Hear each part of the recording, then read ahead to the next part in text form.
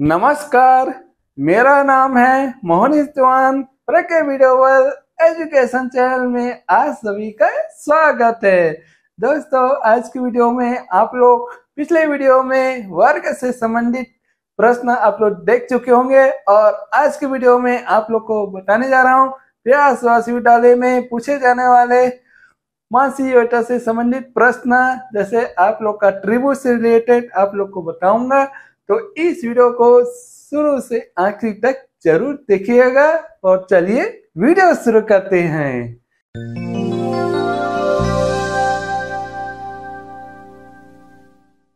चलिए हम लोग शुरू करते हैं। प्रश्न क्रमांक छ। नीचे दी गई आकृति में कुल कितने त्रिभुज है? तो यहाँ पर त्रिभुज दिया हुआ है। यहाँ पर बना हुआ है अंदर में, ठीक है? तो इसका चार विकल्प दिया हुआ है। ए आठ, बी दस, सी सोलह, डी चौदह। ठीक है? यहाँ पर ट्रिक्स बनाया गया बनाया गया लेकिन अभी आप लोग को समझ नहीं आ रहा होगा। मैं आपको बताता हूँ कि आठ कैसे आया है। तो सबसे पहले आप लोग को गिनती लगाना है। जैसे मैं यहाँ पर क्रसर यहाँ पर रखता हूँ। एक, दो, तीन, चार, पाँच, छ, सात, आठ। ये हो गया। यहाँ पर आठ त्रिभुज हैं। उसके बाद दो से गुणा कर देते हैं, ठीक है? गुणी दो आठ दूनी सोलह। तो ये आपका ट्रिक्स है। तो इसी तरह से आप लोग हल कर सकते हो, ठीक है? इसका सही उत्तर है सी सोलह। चलिए, अगले प्रश्न की ओर बढ़ते हैं। प्रश्न क्रमांक सातवा। नीचे दी गई आकृति में कुल कितने त्रिभुज है? यहाँ पर एक त्रिभुज दिया हुआ है। इसके अंदर में अलग अलग त्रिभुज दिया गया है। गिनने में समय लगेगा और गलियाँ भी हो सकती है गिनने में। तो इसके बजाय हम ट्रिक के माध्यम से इसको हल करेंगे। और यहाँ पर चार विकल्प दिया हुआ है। ए तेरह, बी बारह, सी पंद्रह, डी सोलह। इनमें से एक सही उत्तर होगा। उसको पता करने के लिए हम ट्रिक्स के माध्यम से हल करेंगे। ठीक है? तो यहाँ पर मैं नहीं लिख सकता तो मैं आपको कसर रख रख के गिन के बता रहा हूँ। यहाँ पर एक, दो, तीन। यहाँ पर तीन है। यहाँ पर पहले से गिनती लगा लेते हैं। ठीक है? एक, दो, तीन। ठीक है? तो यहाँ पर एक दो। एक दो को जोड़ेंगे, क्या करेंगे? तीन आएगा। और तीन को तीन से जोड़ेंगे, क्या आएगा? छः आएगा। ठीक है? तो यहाँ पर एक अंडरलाइन लगा लेते हैं। एक, तीन छ इस तरह से हम अंडरलाइन लगा लिए। आप यहाँ पर फिर लिख लिए, एक, धन, तीन, धन छ इसको जोड़ेंगे तो दस आएगा। अब यहाँ से एक अंक छोड़कर बीच वाले को चुनना है क्योंकि यहाँ पर तीन अंक दिया हुआ है। तो बीच वाले को चुनेंगे। तीन को जैसे यहाँ पर हमने इसको डब्बा में रख दिए ताकि आपको समझ आए, तीन को हमने चुन लिया तीन, धन, दस। दस, धन, तीन बराबर तेरह। तो तेरह ये आपका सही उत्तर है। ये सही उत्तर है, ये आला ठीक है? ये आला ठीक है, समझ आ गया? चलिए, इसी इसी तरह से एक और प्रश्न हम लोग देख लेते हैं। प्रश्न क्रमांक आठवां। नीचे दी गई आकृति में कुल कितने त्रिभुज हैं? यहाँ पर बड़ा सा त्रिभुज दिया गया है तो इधर छोटा आला दिया है तो आप बड़ा आला याद करते हैं। यहाँ पर सही विकल्प दिया है, ए पच्चीस, बी सत्ताईस, सी तीस, डी पैंतालीस। अब इनमें से कौन सा सही है? तो हम ट्रिक के माध्यम से पता करेंगे। तो सबसे पहले यहाँ पर गिनती लगा लेना है। इस तरह का अगर त्रिभुज दिखता है आपके प्रश्न पत्र में, एक, दो, तीन, चार। यहाँ पर चार है। पहले मैं बताया था तीन। ठीक है? अब इसके आपस में जोड़ते जाना है। कैसे जोड़ेंगे? एक, धन दो। सामने वाले संख्या से जोड़ लेते हैं। तो एक, तीन। तीन आ गए, फिर सामने वाला नम, यहाँ पर गिन लेते जोड़ लेते हैं, तीन धन तीन, छ। फिर इसके बाद छ धन चार, यहाँ पर दस आ गया, ठीक है? उसके बाद हम अंडरलाइन लगा लेते हैं यहाँ पर, ताकि हम उसको उस संख्या को लिया जाए। जैसे एक में लगा लिए, उसके बाद तीन में लगा लिए, उसके बाद छः लगा लिए, उसके बाद दस में। अब इन संख्या को ले लेते हैं। एक, तीन छ दस बराबर बीस। इसको जोड़ लिए, ठीक है? उसके बाद क्या करते हैं? एक अंक को छोड़कर यहाँ पर लगा लेते हैं। जैसे दस को छोड़ लिए यहाँ से शुरू करना है आपको बराबर से, ना कि यहाँ से। यहाँ से करोगे तो गलत हो जाएगा। तो यहाँ से जैसे बराबर है तो यहाँ से शुरू करना है। दस को छोड़ दिए, दस ले लिए छः ले लिए। उसके बाद तीन को छोड़ दिए, एक ले लिए। ऐसे छोड़ छोड़ के लेना है। ठीक है? अब ये छः एक को करोगे तो सात आएगा।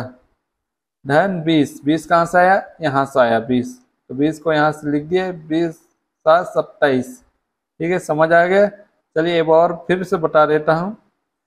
ये ये यहाँ पर गिनती लगा लेना है। एक, दो, तीन, चार त्रिभुज है छोटा छोटा उसके बाद यहाँ भी चार बार होगा। जैसे एक, धन, दो बराबर, तीन, फिर जोड़ लिए। फिर तीन को फिर से तीन से जोड़ दिए, तीन धन तीन बराबर छः छः को फिर से चार से जोड़ लिए छः धन चार बराबर दस। ठीक है, यहाँ तक हम जोड़ कर जोड़ लिए क्लियर उसके बाद अंडरलाइन लगाते जाना है, जिनको जिनको लेना है। जैसे एक को लेना, एक। यहाँ फिर से जो आंसर आया है, उसको तीन। जैसे यहाँ पर आया है छः जो जो जोड़े हैं, उसको लेना है। छः चार, दस आया उसको दस को ले लिए। जो जो जोड़े हैं उसको लेना है। ठीक है? एक वाला के बाद शुरुआत में लेना है और जितना भी जिसको जोड़े हैं, उसको लेना है। जो जोड़ के जो भी आपको उत्तर आया है, उसी को लेना है। ठीक है? जैसे एक को बाढ़ लगा दिया, तीन को लगा दिया छः को लगा दिया, दस को। अब इसको उठा के फिर से जोड़ना है। एक, तीन छ धन, दस। इसको फिर जोड़ लिए, जोड़ने से आएगा, बीस आएगा। ठीक है? उसके बाद बराबर से शुरू करना है। बराबर वाला जो बगल में जो संख्या दिया हुआ है इसको छोड़ के छः लिखना है। उसके बाद उसके बाद तीन को छोड़कर एक को सिलेक्ट करना है। तो छ एक, सात, धन, बीस। बीस, सात, सत्ताईस। ठीक है?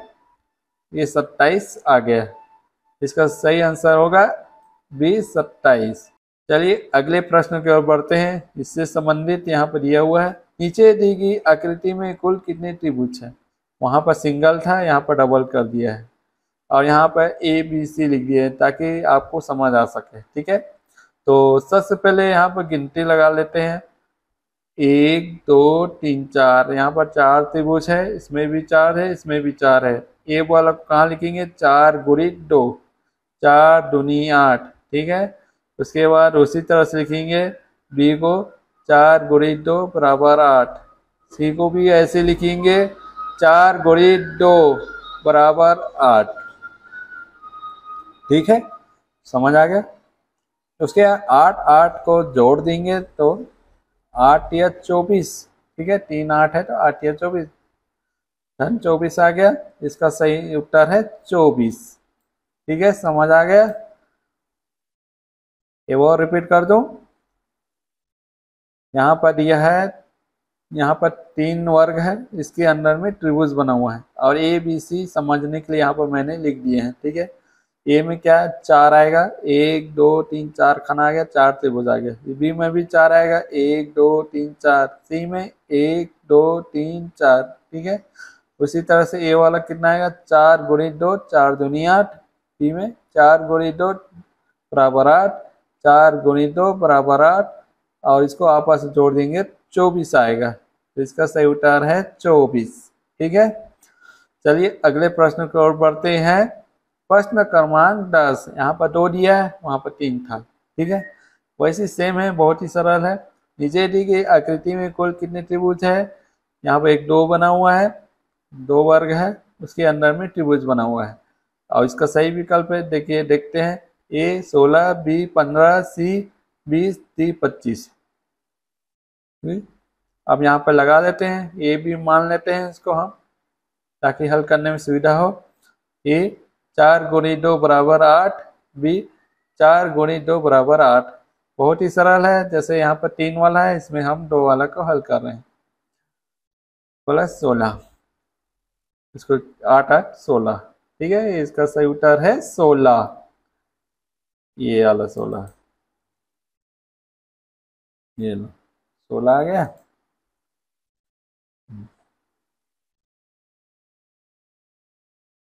तो आप लोग को समझ आ गया? नहीं समझ आया तो बिल्कुल कमेंट कर सकते हैं। फिर से इसको हम समझाने की कोशिश करेंगे। मेरे पास ब्लैक बोर्ड का कोई साधन नहीं है, इसलिए मैं आप लोग के स्लाइड बना दिया, ताकि स्लाइड से माध्यम बता दूँ। ये ट्रिक्स दिया हुआ है। अगर आप बड़े इसको बना के खुद से देखोगे तो आपको जल्दी समझ आएगा। ठीक है? जैसे इस टाइप का आया है आकृति। देखो, आकृति पर डिपेंड करता है कि किस टाइप का ट्रिक्स लगेगा क्योंकि ज़रूरी नहीं है एक ही, सभी आकृति में एक ही ट्रिक्स लगाया जाए। सबका अलग अलग आकृति अलग अलग ट्रिक्स होते हैं इसके। ठीक है? तो आज के वीडियो बस इतना ही। देखने के लिए धन्यवाद। दोस्तों, यह वीडियो प्रयास विश्वविद्यालय में पूछे जाने वाले मानसिक योग्यता से संबंधित प्रश्न आप लोग को अच्छी तरह से समझ आ गया होगा। तो आज के वीडियो में आप लोग को बताया था त्रिभुज से संबंधित, ठीक है? तो आप लोग को अच्छी तरह से क्लियर हो गया होगा। यदि आपको समझ नहीं आया तो आप लोग कमेंट कर सकते हो। इसको मैं दोबारा बताने का भी प्रयास करूँगा, ठीक है?